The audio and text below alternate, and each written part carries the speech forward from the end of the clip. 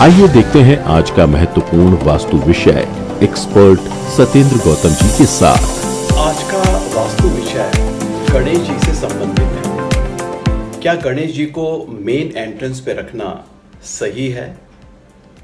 अगर घर के अंदर हमने गणेश जी की मूर्ति या फ़ोटो रखी हुई है तो उसके क्या वास्तु नियम हैं? किस दिशा में रखना उचित होता है? उसको रखने की क्या व्यवस्था होनी चाहिए, इसी के बारे में हम आपसे डिटेल में बात करेंगे। मैंने अपने वास्तु विज़िट के दौरान अक्सर ये देखा है कि मेन एंट्रेंस के ऊपर दीवार पर लोग गणेश जी की फ़ोटो लगाते हैं। ऐसे बहुत से घर हैं जहाँ पे लोग मेन एंट्रेंस पे गणेश जी की मूर्ति भी रखते हैं। अगर घर के अंदर की बात करें तो कुछ लोग बेडरूम में गणेश जी की फ़ोटो लगाते हैं। कई घरों में ड्राइंग रूम में डेकोरेशन के तौर पर गणेश जी की मूर्ति लगी हुई मैंने देखी है।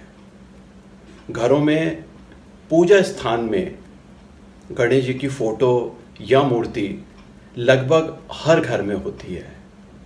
बट कई घरों में मैंने किचन में भी गणेश जी की फ़ोटो लगी हुई देखी है।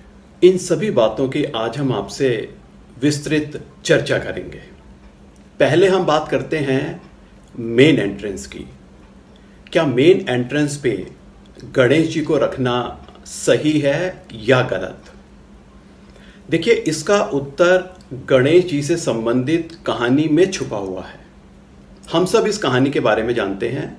हमने बचपन में यह कहानी सुनी है। लेकिन शायद इसमें जो छुपा हुआ संदेश है, उसको हम समझ नहीं पाए हैं। तो इसका उत्तर कि मेन एंट्रेंस पे गणेश जी होने चाहिए या नहीं, इस कहानी में ही इसका उत्तर है। मैं आपको ये कहानी एक बार फिर से सुनाता हूँ। शिव पुराण में इस कहानी का वर्णन है, जिसमें माता पार्वती बालक गणेश को अपने घर के द्वार पे बैठाकर स्नान के लिए जाती हैं। बालक गणेश को द्वार पालक बना के आदेश देती हैं कि जब तक मैं स्नान करके ना आऊँ, किसी को अंदर नहीं आने देना। माता पार्वती स्नान करने चली जाती हैं। तभी शंकर भगवान माता पार्वती से मिलने आते हैं। उनको बालक गणेश द्वार पर रोक देते हैं, क्योंकि उनको आदेश था कि किसी को भी घर के अंदर नहीं जाने देना है। भगवान शिव उनको समझाते हैं, लेकिन बालक गणेश अपने हट पर अड़े रहते हैं। उनसे बहस करने लगते हैं, शंकर भगवान से झगड़ा करने लगते हैं। लाख समझाने के बाद भी जब बालक गणेश नहीं मानते तो भगवान शिव का क्रोध सातवें आसमान पे पहुँच जाता है। और वो क्रोध में बालक गणेश का सर काट देते हैं।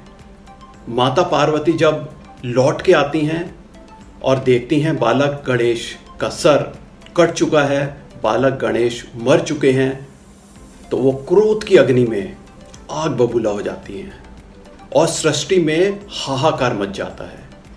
देवी देवताओं को बीज बचाव के लिए आना पड़ता है।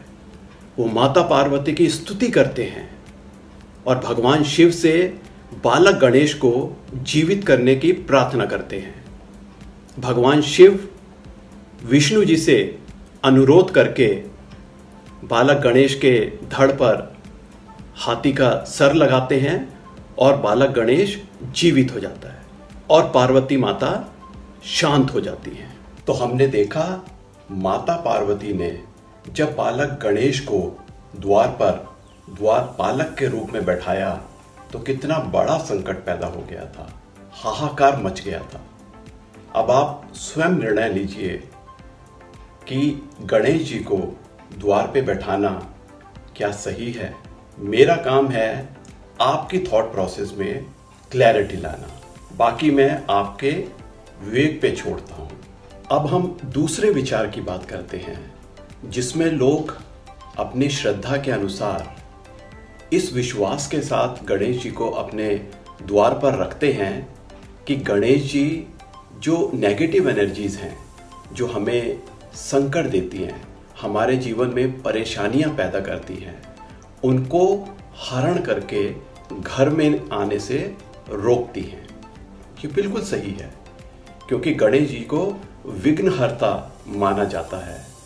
गणेश जी हमारी समस्याओं को हरण करते हैं नेगेटिव एनर्जीज को एब्जॉर्व करते हैं।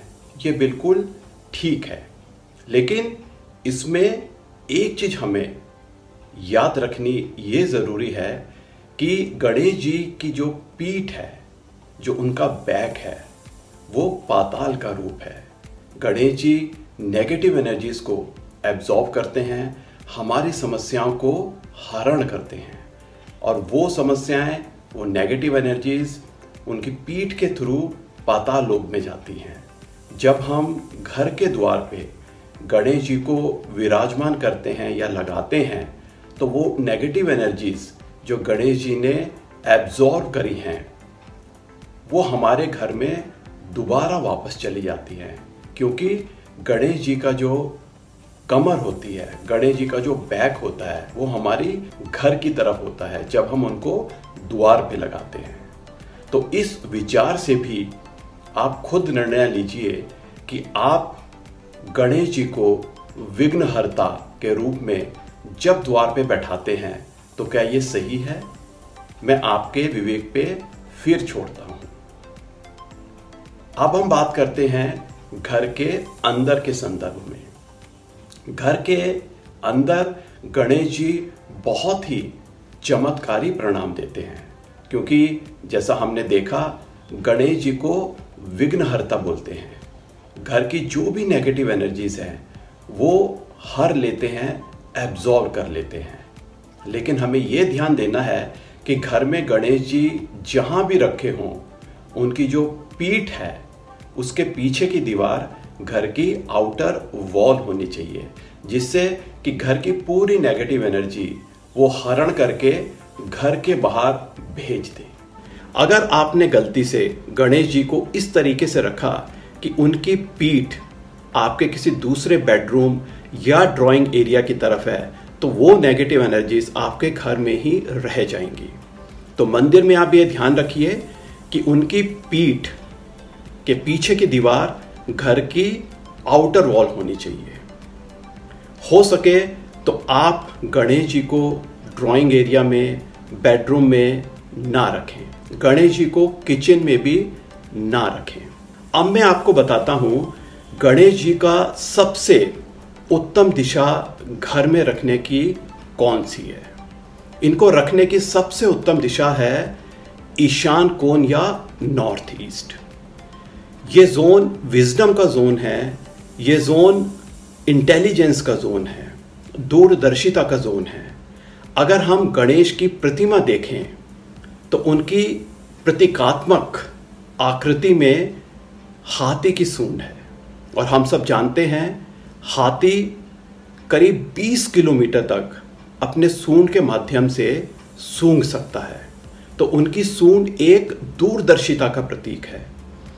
जब हम गणेश जी को नॉर्थ ईस्ट डायरेक्शन में रखते हैं तो यह व्यक्ति की दूरदर्शिता बढ़ाती है, उसकी इंटेलिजेंस इंप्रूव करती है, व्यक्ति को नए आइडियाज़ देती है।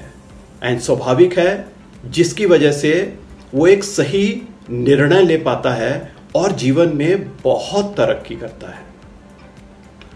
हम सब जानते हैं कि किसी भी पूजा को शुरू करने से पहले गणेश जी की आरती की जाती है, किसी भी नए काम को करने से पहले गणेश जी को याद किया जाता है, किसी भी नए वेंचर को शुरू करने से पहले उनकी आराधना की जाती है।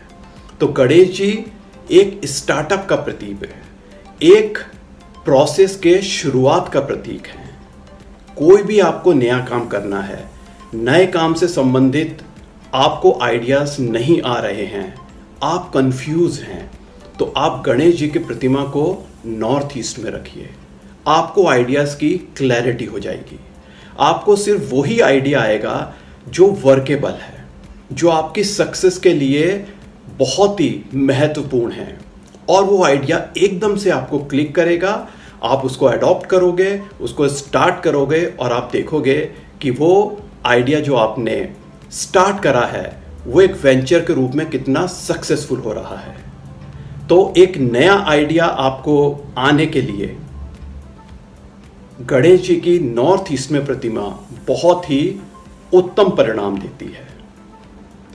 इन गाइडलाइंस को अगर हम गणेश जी से संबंधित फॉलो करते हैं तो हम देखते हैं कि हमारे जीवन में उत्तम परिणाम आ रहे हैं। और जैसा कि गणेश जी का नाम है विघ्नहर्ता, वो हमारे जीवन से जो समस्याएँ हैं जो परेशानियाँ हैं, उनको हरण करते हैं, उनको खत्म करते हैं और हमारे जीवन को खुशहाल बनाते हैं।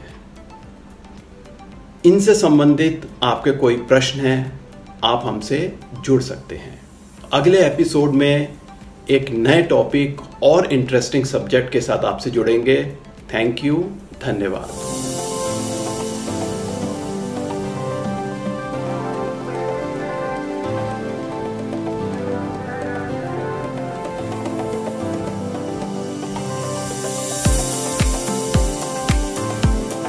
अगर आपको ये जानकारियाँ उपयोगी लगी तो चैनल को लाइक करें और लाइक आइकन पर प्रेस करें।